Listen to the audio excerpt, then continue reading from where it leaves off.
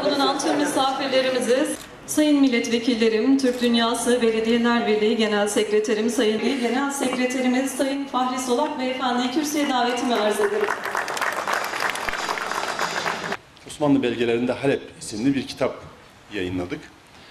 Ee, yaklaşık bir yıldan daha uzun bir süre emek verildi. Çok sayıda e, uzman, gerek arşiv uzmanı, gerek bölge uzmanı, akademisyen hocalarımız, arşiv uzmanlarımız, diğer ilgililer emek verdiler. Bir kitap ortaya çıktı.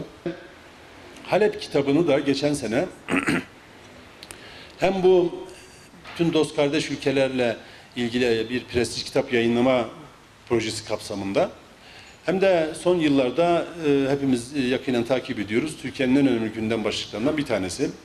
E, Suriye'de olan olaylar, bunun Türkiye'ye yansımaları ve Türkiye'nin politikalarına dönük zaman zaman e, tırnak içinde bizim orada ne işimiz var sorusunun yüksek sesle sorulduğunu e, hatırlıyoruz. İşte Bizim orada ne işimiz var acaba? Bunun tarihsel kökenleri, belgesel karşılığı nedir diye böyle bir proje başlattığımızda bu şu anda sizlere takdim edilen, tanıtımı yapılacak olan kitap ortaya çıktı. O kitapta da görüldü ki bu sorunun herhangi bir tarihsel zemini, karşılığı yok. Çünkü kitapta yayınlanan nüfus istatistiklerine bakıldığında yani birkaç yüzyıllık geçmişe dönük olarak istatistikler arşivlerden çıkarıldığında o bölgenin tarihsel olarak bir Türkmen bölgesi, Türk bölgesi olduğu çok net bir şekilde, yani bir siyasi söylem olarak söylemiyorum, e, nüfus istatistikleri bunu net bir şekilde bize gösterdi.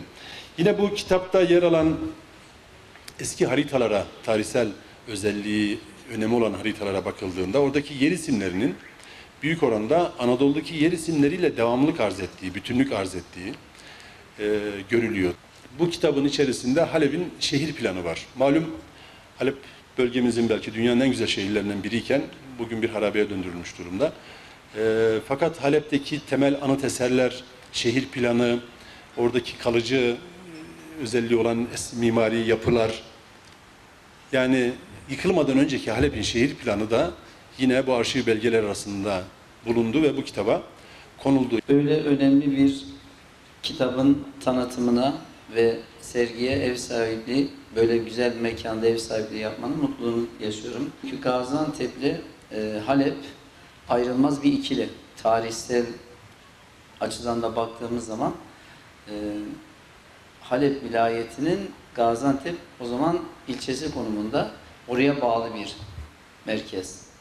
Dolayısıyla baktığımız zaman yememizle, içmemizle her türlü kültüre e, neredeyse eşdeğer. İşte e, Suriye'deki savaştan önce çok defa Halep'e gittik.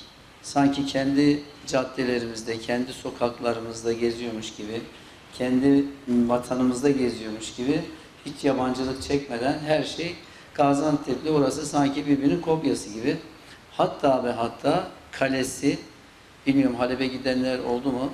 Halep Kalesi, Gaziantep Kalesi'nin birebir aynısı. Ki birçok Antepli bilir. Antep'in bir başka adı da Küçük Halep'tir. Kaynaklarda bahsedilirken Antep'ten Küçük Halep diye sıklıkla zikredilir. Başkanımızın bahsettiği gibi Antep Kalesi ve çevresindeki e, yerleşim de Halep örnek alınarak yapılmıştır. İşte kalenin etrafında şimdi Antep Kalesi'nde yok ama eskiden hendek varmış. Aynı Halep'te olduğu gibi. Dolayısıyla bu iki şehir e, Halep vilayeti işte Antep kazası e, binlerce yıllık bir ortak tarihi paylaşan e, şehirler.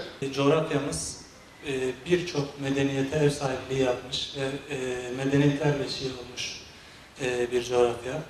Gaziantep'imiz e, Şanlıurfa, Maraş, Hatay, Halep e, aslında aynı kültürün bir parçası olan şehirler. E, biz de ortak tarihimizin bir parçası olan Halep'i aslında sosyal yaşantımızda da, e, tarihimizde de, kültürümüzde de e, her an yaşıyoruz. Halep merkez ve Gaziantep ilçesi konumunda e, Kahramanmaraş, Halep bu bölge tamamen Halep'in e, ilçeleri konumunda. Çok zengin bir kültür. Tabii İpek yolu üzerinde kültürel olarak e, ticaret aksının yoğun olduğu, tarih boyunca yoğun olduğu ve kuzeyi güneye bağlayan çok önemli bir aks üzerinde bulunan bir bölgedeyiz.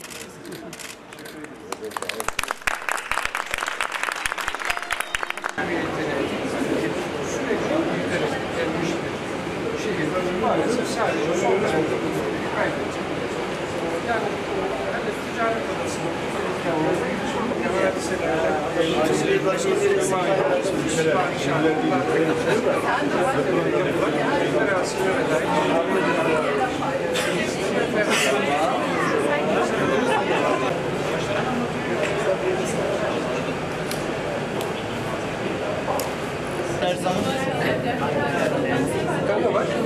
Burada da bir kroki var. Yani türbe, çarşı, pazar. Bundan sonraki